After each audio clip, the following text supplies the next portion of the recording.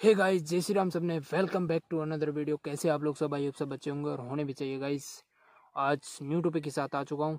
Guys हम guys मैं बोलूँ आप 45 से 50 दिन में पचास हज़ार से पचहत्तर हज़ार तक पैसे कमा सकते तो कैसे? तो आज हम एक सब्ज़ी के बारे में बात करने आए पाँच टॉपिक के साथ।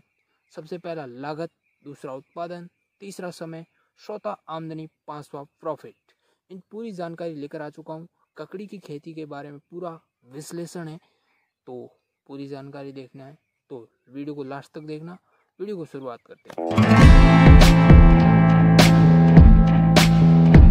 गाइस अगर हम एक एकड़ की ककड़ी की खेती करते हैं तो उसमें क्या लागत आती है? सबसे पहले यह बात करेंगे। उससे पहले मैं बात करूँ, अगर ककड़ी को हम लगाते हैं तो उसमें रो की ज़रूरत होती है और रो से रो की दूरी रखनी है तीन फिट और पौधे से पौधे की दूरी रखनी है डेढ़ फिट। ठीक है गाइज़ और उसमें बीच में ऐसे ही रखना है। ठीक है गाइज़ अगली बात करता हूँ मैं लागत की। लागत, सबसे पहला टॉपिक है हमारा लागत। लागत कितनी आई? तो गाइज़ एक एकड़ की ज़मीन में ककड़ी की खेती करते हैं तो कितनी लागत आती है, उसमें बात करते हैं। सबसे पहले हम बात करते हैं एक एकड़ में ककड़ी को लगाने के लिए हमारे को बीज की आवश्यकता होगी कितने? तो 300 से 400 ग्राम बीज लगते हैं। हमारे को 100 ग्राम की थैली एक सौ पचास रुपये में मिलती है। इस प्रकार हम लेते हैं चार से, चार थैली। इससे हमारे रुपए हो जाते हैं छः सौ रुपये अब बात करते हैं अगली। गाइस लागत में और क्या क्या आएगा? रासायनिक उर्वरक आएगी, वो आएगी पच्चीस सौ रुपये तक। और जो खरपतवार को हटाने के लिए लेबर की आवश्यकता होगी, उसके लिए हमारे को चाहिए होंगे तीन हज़ार रुपये और खेत की तैयारी के लिए हमारे को चाहिए होंगे पच्चीस सौ रुपये और इसमें स्प्रे की आवश्यकता होगी, उसके लिए हमारे को चाहिए होंगे हज़ार रुपये इस प्रकार हमारी कुल लागत बनती है दस से बारह हज़ार रुपये तक। इससे ज़्यादा लग रहे तो आप आ, लागत बहुत ज़्यादा लगा रहे ठीक है गाइस अगली बात करता हूँ उत्पादन की। उत्पादन क्या आएगा?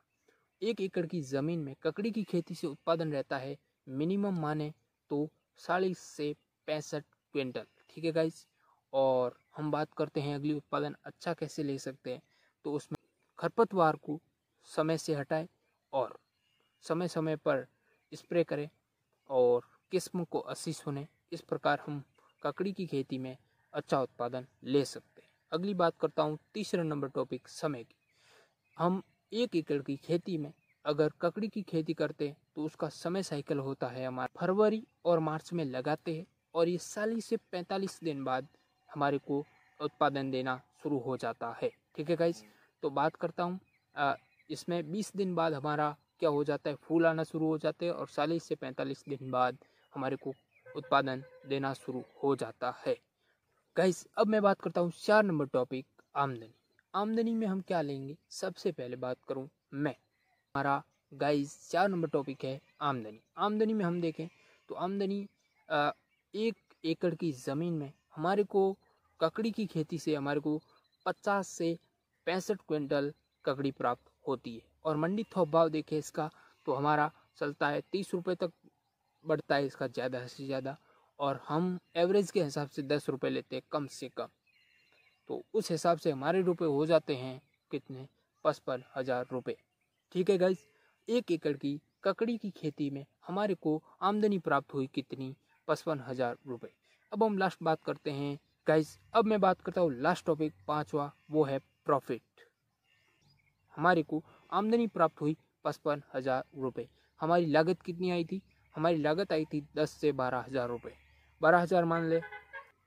तो गाइज़ अब हम मुनाफा निकालने के लिए आमदनी में से लागत को घटा देते हैं, जिससे हमारे को प्राप्त होता है मुनाफा।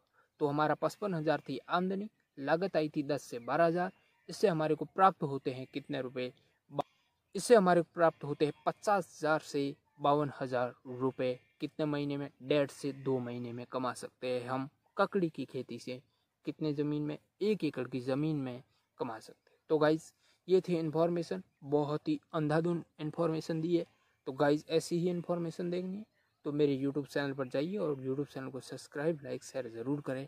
और गाइज़ वीडियो को करता हूँ एंड मिलता हूँ अगले वीडियो में। तब तक के लिए सबको थैंक यू सो मच सबको जय श्री राम।